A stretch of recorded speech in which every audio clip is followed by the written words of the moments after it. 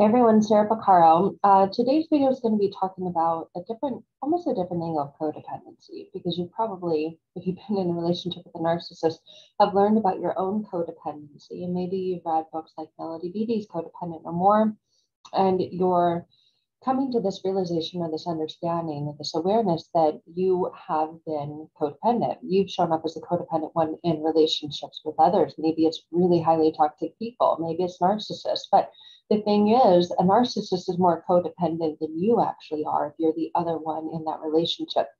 So, the truth about codependency is it's not just about your relationship with others, your engagement, your way of being with others. Codependency actually comes down to the same thing that every com- everything comes down to your relationship with you. That's why doing the in- internal inner work to heal has to come from within you. It's an awareness about you, who you are, what what your way of being is, your your traits, your tendencies, your attachment styles. So when you're actually in this healing space and you're ready to move forward and take the next step and progress through life in a much more efficient, beneficial way, it has to have nothing to do with the other people in your life what and what with what others have done to you. It, you have to let go of well this person's a narcissist and they did this to me right? Because then you're staying stuck in that victim mentality. But when you're learning about what got you to that place and what led you to that place and codependency comes up then you may think oh i'm a codependent and there are groups out there that you know can can highlight more around this, like CODA, Codependents Anonymous, right? And and not that those are, are bad groups, but what I've heard from many, many people that I've worked with, actually people who've been in that program for a very, very long time, is that it, it can be difficult to find a healthy group. There are so many things that say they will help out there, but they end up doing more harm than good because of maybe the way that they're ran or maybe your perception or your involvement with them. And that's this very same thing with codependency. You want to say, well, I'm codependent and this person this to me, but that gets you stuck and it, and it can keep you trapped. What codependency really and truly is, is your relationship with yourself. Although codependency generally manifests and shows up as, you know, people pleasing, caretaking, always doing more for others than you do for yourself, over giving, and have a, a very small stream of receiving, if anything at all. At its core, what it stems from is a disconnection. So you're disconnected from the relationship that you have with yourself, disconnected from self. Therefore, you're you're dependent on other people to fill that internal and inner void. And beneath this codependent uh, foundation and these actions and these thoughts and these patterns and these behaviors and these beliefs is a, a really janky, wonky foundation. It's a foundation that's crumbling. And for many codependent people, being alone with yourself it shoots off massive sparks of anxiety, of worry. And so you're busy, busy, busy, busy, busy all the time to avoid being with yourself. Therefore, the codependent, right? You become enmeshed and, and dependent on others to avoid being with yourself. And solitude, the fear of being alone, really weighs heavy on you, it really comes into play the solidarity, right? It means coming face to face with your own shame, looking in the mirror and seeing your own self judgment, your own inner critical negative voice, or that you're a perfectionist and everything has to be perfect. And so you will easily, effortlessly, without thought, abandon yourself so that you can be a part of someone else's life and and be a part of them feeling joy and happiness and, and love. And you'll even go to the extent of getting involved in someone else's life when those things are, are lacking or not present at all. And when there's just drama when there's just problems that's okay. Because that in and of itself is a distraction from you having to face your own internal stuff you know, feelings of not being good enough, uh, not perfect. And so you will happily and eagerly abandon yourself to go get involved in someone else's drama. That's really what's at the core of codependency. And when it comes to healing codependency or stopping codependent behaviors in a relationship, it's only part of it. It's only a couple pieces of the puzzle. And in fact, you it wouldn't even be beneficial to stop all of the codependent behaviors because we need relationships, we need connection in order to feel whole and feel complete. So if you want to completely stop all the codependency in your life, it, there's a part of you that won't allow that because you need that in order to survive and thrive. So you don't heal by simply just saying, oh, I'm not going to fix people anymore. They're monkeys, they're problems, like uh, that I'm not going to take care of people anymore or please other people.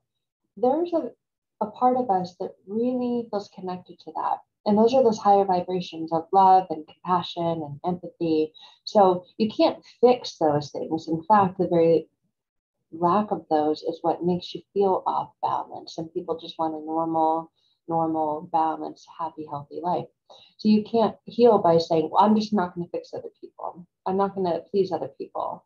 Because a part of our happiness is when others are are happy with us, right? And you can have that relationship, but you also must strengthen your relationship with yourself in order to get that and to not have it be something that's a detriment to you. You've got to be your own best friend and befriend yourself. And some people would never, ever, ever say the, the horrible things that they say to themselves to their best friends. And they talk to themselves like that all the time, that inner voice, that inner critic that's always judging and always shaming and always blaming you and always cutting and putting you down. Well, you've got to heal that part of you. And you can begin that process with awareness by honoring and by meeting the basic needs and by spending time in exercises and with activities that bring you pleasure. And but a lot of people struggle there because they feel selfish or guilty doing that. So it's a lot easier said than done until you've done the internal work. Uh, and being able to be with all of your emotions, not just the good ones or not just the bad ones, to be able to be with all of them because all of them are you and all of them do have their place and their purpose in your life. So to cut out or get rid of some of those feelings like anger, guilt, regret, you you should actually have those because that's an awareness that you're off track or you're doing something wrong. If you're hurting someone and you don't have, feel guilt, well, you would just continue to go on and hurt that person. And if you're a kind, caring, loving person, you want the guilt because it, it kind of is a, a meter and a gauge and a measurement of where you are and, and where the health of your relationship with yourself and with others is. So by being with that, honoring those spaces within you, that's what you can do to heal. But a lot of people even struggle to know where to start or where to begin. So uh, just begin by becoming aware that codependency is actually way more to do with you than it is to do with your relationship with other people. It's much more to do with your relationship that you have with yourself or the lack of, because you put all your eggs in other people's baskets and then they're just running off with them and you're left feeling, well, I have no eggs now. Hmm. So if you want and desire to feel at ease and at peace within your heart, within your mind, within your body, and to have the physical manifestations and representations of what's going on internally be ones of pleasure, And you've got to be, be get, um, begin to to do the inner work and to come home to this place where you feel grounded within yourself and and not always be looking to go out there and have someone else fix you or take care of you or or you be that person for others constantly because then you lose yourself and you probably heard that metaphor you're trying to pour from an empty cup. So that's actually what's at the core of codependency. And if all the things that you've done to try and heal those parts of you or fix those parts of you i don't even like the word fix because it indicates that something's broken. It may not be broken it's as if you have the parts that are there but they're not syncing up and, and connecting in the way that has them work to be a benefit in your life so if the parts are there, but they're not working together the way that they're designed to, it's going to feel like it's a detriment to your life. And it's going to feel like it's something that's more work to do. So actually, you get a lot more with doing less. But in order to shift that perspective and understanding around, you've got to use the resources that you already have. But it may feel like they're locked off or or boxed away and, and put somewhere and you, you can't access them. That's because they're in your inner mind or your unconscious mind or subconscious mind. All of those three words can be used interchangeably, to mean and speak to the same thing. And that's the very thing that hypnosis and rapid transformational therapy allows you to get to, to unlock those resources that you do have within you. They're not going to be found in a podcast or a book. Those these can be uh, part of the awareness and the understanding that they're locked off for you, but they're not going to gain, gain you access to them for you because what works for one person may not work for another person. And that may be part of the reason why you feel so locked up and so frustrated because this person just went off and did this and then everything in their life changed and they told me to go do that and I did and still nothing has changed.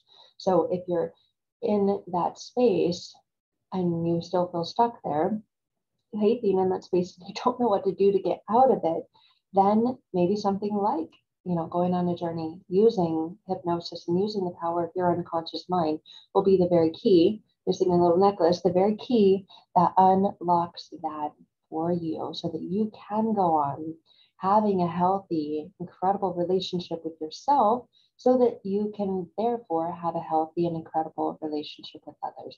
If you're missing the key, and that's what you're looking for, and you've tried looking for it in a million other places, and no matter where you look, you can't seem to find it, but you know that this is what you need to unlock that incredible life that you want and desire to have waiting for you, then let's connect. Then I invite you to click on the link in the description of this video and schedule time for us to connect and talk more about working together one on one to do just that. And while you're there, take a look at what other people have said about working together and the fast and effective way that, that they get most incredible, phenomenal results.